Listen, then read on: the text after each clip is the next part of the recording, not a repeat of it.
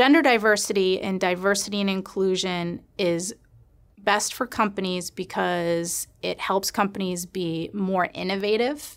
It helps them perform better in financially. Um, your top S and P 500 companies tend to be those companies that have great diversity and inclusion programs. Diversity is better for employee satisfaction, so you retain employees instead of spending money losing employees because they leave because they're unhappy. And at the end of the day, which corporations love best, diversity is best for its customers.